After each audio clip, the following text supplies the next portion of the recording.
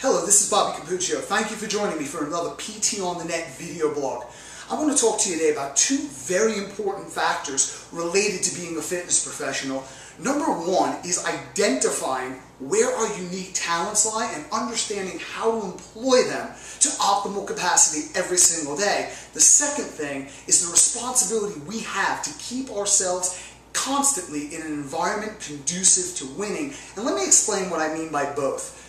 First of all, anybody can write down a list of 46 things to do and at the end of the day edify their ego because they look down at the list and notice that they've accomplished 44 of the 46. The truly effective fitness professional understands what exactly he or she does that is unique, that they do probably better than most other people.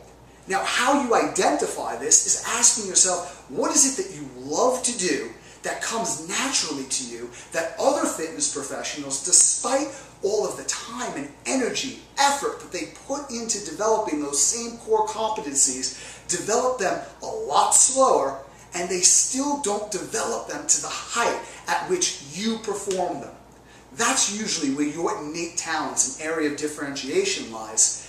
It's the truly effective person who understands that and then you can look at the list of 46 things to do and say to themselves, which 44 can I afford to ignore today and which two items on this list, if I did them, would yield the maximum benefit for myself and would enrich the lives of people around me that depend on me primarily. I'm talking about our clients. And number two is keeping ourselves in an environment conducive to winning, and that means developing our skill sets every single day. How much time and energy do we set aside on a daily basis? Because what we do daily determines who we become permanently to develop our unique areas of differentiation, our unique areas of performance. And then the second thing, which seems kind of counterintuitive, is engaging in things that are not related to what it is we do.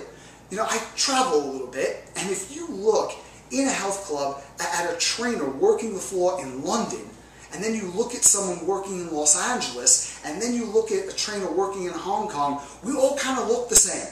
We kind of got the same uniform, the same hairdo, we kind of walk about the same way. You can pick us out from across the room easily. In some ways, that's good because the industry shows you uniformity, but in other ways, you got to think if one of our primary jobs is innovation, and probably one of the greatest business gurus who ever lived, Peter Drucker, said that innovation is one out of two primary core competencies for any business the other one was marketing, by the way. Well, then we can't get innovation if we hang out and we draw information from people who go to the same conferences, look the same, have the same interests, we have to expand our scope of possibilities. As a matter of fact, it's said that Einstein used to play the violin because he knew that music would form new connections in his brain, and those new connections could serve him when he went back and focused on his first passion, which was physics. So number one, what do we do every single day in the area of expertise that's relevant to what we do on our job?